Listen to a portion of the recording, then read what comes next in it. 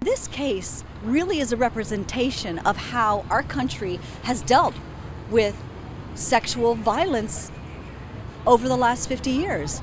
Here we have someone who has not been held accountable until now. We hope that this time around the jury will come to the right conclusion because justice needs to be done.